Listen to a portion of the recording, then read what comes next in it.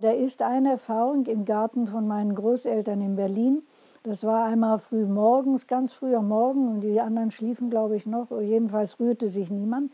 Und bin ich runtergegangen in den Garten. Das war da in Nikolassee ein Garten, Haus mit Garten. Und da war eine gelbe Blume im Rasen, die gehörte da eigentlich nicht hin, nicht wahrscheinlich. Aber die, das ist einfach geblieben. Die ist immer geblieben. Und ich habe da am Anfang überhaupt nichts ich habe sie nicht vergessen, aber ich habe auch nichts Besonderes dabei gedacht oder so, bis viele Jahre später Dürkheim einmal zu mir sagte, das ist eine wichtige Erfahrung. Da habe ich erst gemerkt, dass es in der Tat wichtig war. Ich, ich habe sie in der Tat, in der Tat, ich habe sie, kann sie jetzt noch sehen, diese Blume. So eine kleine, wilde Butterblume, denke ich, war das. Ja, andere Erfahrungen aus der Kindheit, als wir 43 während des Krieges ähm, in Barcelona auf Besuch waren zu, bei meinen Großeltern, weil meine Großmutter krank war, bekamen wir den, die Erlaubnis. Da sind wir auf Montserrat gefahren. Die, meine spanische Familie, die aus Barcelona stammt und Umgebung, die fuhr jedes Jahr rauf auf den Montserrat. Ich hatte sowas noch nie gesehen.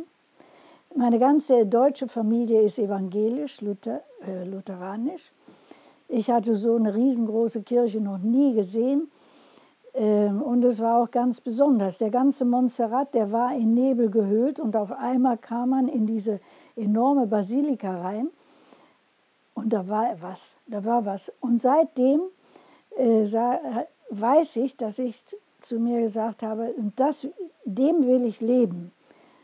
Dieser Sache, die ich überhaupt nicht kannte. Ich hatte auch noch nie eine Schwester aus der Nähe gesehen oder sowas. Es gibt in der spanischen Familie bei uns keine Priester, keine Schwestern aber wohl in der deutschen Familie Diakonissen und äh, evangelische Pfarrer auf verschiedenen Dörfern. Das ist eine fromme Familie gewesen. Ähm, mein deutscher Großvater äh, war Freimaurer und ein Vetter von mir ist es in Hamburg. Es ist all, und die spanische Familie, obwohl wir immer auf Montserrat fuhren, Montserrat ist viel mehr als nur religiös. Es ist ähm, das ist in Katalonien.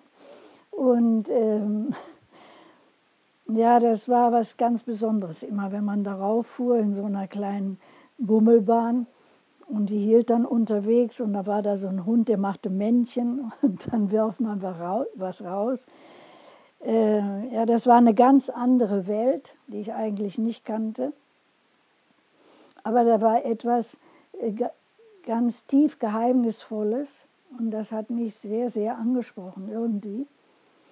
Und ähm, ich habe auch später, als ich, also ich war dann später auf der Suche nach einer Gemeinschaft, wo man das äh, leben konnte, nicht? Und ähm, zum Beispiel den Ring, den ich hier trage, dem wollte ich eigentlich dem Montserrat schenken. Und ausschließlich und zuletzt ging ich im Ring zu den Frauen von Bethanien, viele Jahre später.